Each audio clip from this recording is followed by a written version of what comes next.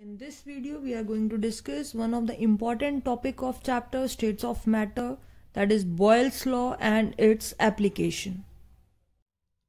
Only 11 elements out of total of 118 elements known today exist in the gaseous state under normal condition of temperature and pressure. These elements are hydrogen, helium, nitrogen, oxygen, fluorine, neon, chlorine, argon, krypton, xenon, and radon. And out of these 11, total 6 are the noble gases. Characteristics of gases First point is gases neither have definite shape nor definite volume they have lower density as compared to liquids or solids and the gases are highly compressible and exert pressure in all direction. So next is the gas laws. Some of the measurable properties like pressure, volume, temperature, even the mass, they all are interdependent over each other and due to which they formulate some laws and that relation we can say between these measurable properties is known as a gas law. So we can say gas laws are just a relationship between the measurable properties of gases and in states of matter we will discuss number of gases law.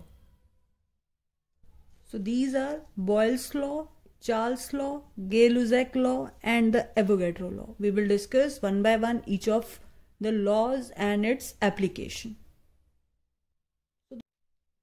Boyle's law. This law is given by Robert Boyle in 1962 which states that at constant temperature and fixed amount of mass that is n number of moles the pressure of gas varies inversely with volume that is pressure is inversely proportional to volume. So if we increase the pressure, then volume decreases. Or if we decrease the pressure, then volume increases. So when we remove this proportional sign, then we get the proportionality constant that is K1 1 by V or we can say PV is equal to K1 now this law can also be formulated like this product of pressure and a volume for a fixed amount of gas at constant temperature is always a constant. Again at constant temperature product of pressure and volume at fixed amount of gas is a constant. So we can rewrite this relation as P1 V1 is equal to P2 V2 which is equal to a constant and P1 by P2 is equal to V2 by V1. So this is the Boyle's law relation which can be used to solve a numerical. First one this that pressure is inversely vary with the volume. Product is remain constant so that we can use this kind of relation. Now next is the relationship between the pressure and the density. Now as we know by the Boyle's law, pressure is inversely proportional to volume and when we remove the proportional constant it becomes K1 1 by V and we know that density is equal to mass upon volume. From this we get volume is equal to mass upon density. So we can put in place of volume the mass upon density. Now mass is fixed for an component. So by this relation we get these two are the constant that is pressure is directly proportional to the density because this section is a constant. This is already a constant and mass is fixed for a particular because we are taking at a fixed amount of mass. So pressure directly proportional to density is the relation between pressure and density which we obtained through Boyle's law. The next topic is the graphical representation of the Boyle's law. The way to represent a Boyle's law is that pressure on the y-axis and a volume on the x-axis. So when volume of a given mass of a gas is plotted against pressure at different constant temperature, then we get the hyperbola kind of graph here. Like this for a particular temperature. And as the temperature rises the slope rises. So we get inversely proportional because with increase in pressure volume decreases.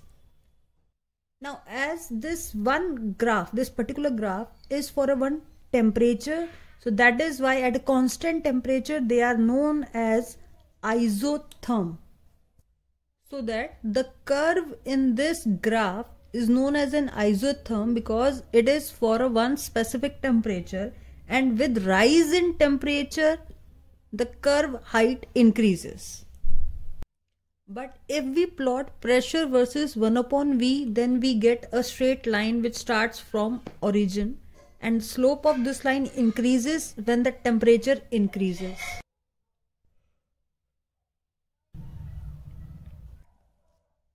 So numerical based on this topic, a balloon is filled with hydrogen at room temperature. It will burst if pressure exceed 0.2 bar. If at 1 bar pressure, the gas occupies 2.7 2.27 volume up to what volume can the balloon can be expanded. So what is given to you? P1 given to you 1 bar. V1 given to you 2.27 Similarly, P2 given to you, maximum pressure it can experience 0.2 bar. So we have to calculate the V2 and according to Boyle's law, P1 V1 is equal to P2 V2. So 1 bar into 2.27 is equal to 0.2 into V2. From this we can easily calculate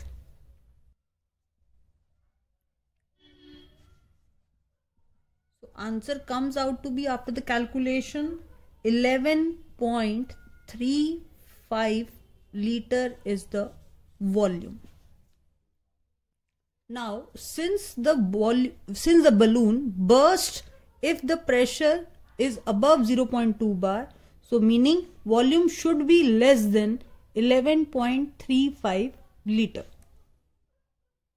now the next question, what will be the minimum pressure required to compress 500 decimeter cube of air at 1 bar to 200 decimeter cube at 30 degrees Celsius.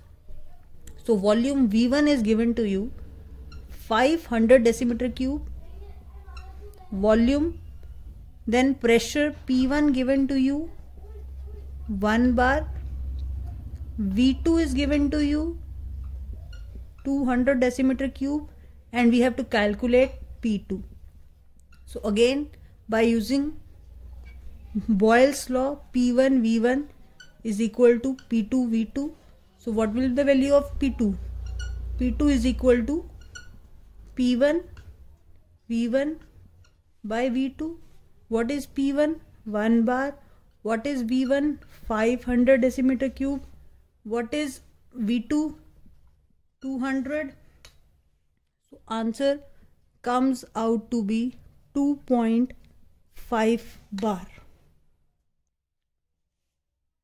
next question a vessel of 120 ml capacity contains a certain amount of gas at 35 degrees celsius and pressure is 1.2 bar so vessel v1 volume given to you 120 ml p1 given to you 1.2 bar the gas is transferred to another vessel of volume V2 180 ml. Now temperature remain constant. So again what we have to find out pressure what would be its pressure. So again according to Boyle's law P1 V1 P2 V2 P2 is equal to P1 by V1 by V2 so 1.2 into 120 divided by 180 so it is 0 0.2 it's 6 to the 18 3 4 cut 12 so answer is 0 0.8 bar is the pressure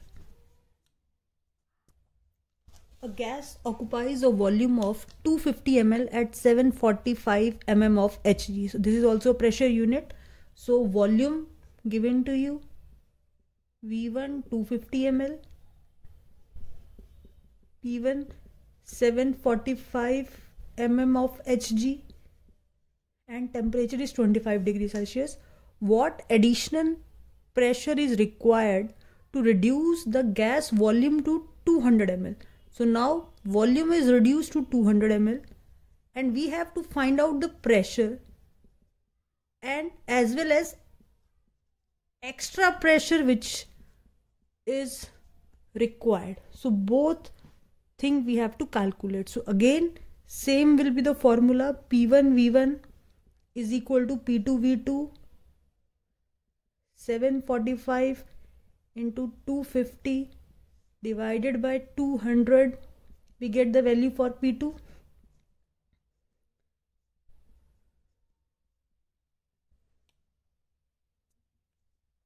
after dividing all and multiply we get the value here 931.25 mm Hg that is P2 here this is the pressure which now what extra pressure we have applied? So this is calculated by subtracting this high pressure and this pressure. That is P2 minus P1 will be the extra pressure which is applied. That is 931.25 minus 745 186.25 mm of Hg is the external pressure or extra pressure which is applied here. So in the question we have to calculate the pressure no doubt but at the same time we have to find out the additional pressure and how that additional pressure is calculated by subtracting the final pressure which is the highest one and then the lowest from it we get the value. Now the reasoning question on this topic that is uh, according to the statement of the Boyle's law, pressure is inversely proportional to the volume. That is, when pressure increases, volume decreases. But when we fill air in a balloon, volume as well as pressure increases. Why?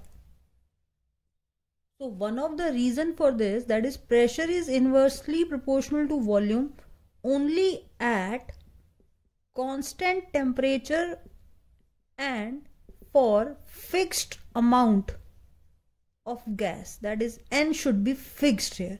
But when we are filling a balloon we are introducing more and more air into the balloon.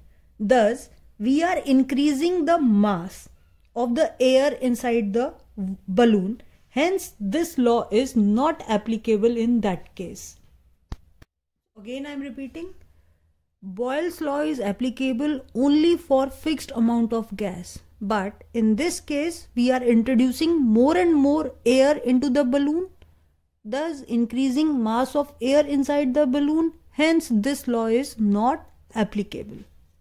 When, when we fill air in a balloon. Application of Boyle's law. The bends are decompression sickness experienced by scuba diver when they ignore Boyle's law. So, as the diver dives deep inside water and the surrounding pressure of water increases, higher the pressure, high will be the solubility of gases in the blood. As we know, when we move inside the water, the pressure with the depth increases, and according to Henry's law, greater the pressure, greater will be the solubility of gases. So as a diver moves more deeper in the water, the quantity of gas dissolved inside the blood increases. So it is always suggested to ascend slowly to move out of water.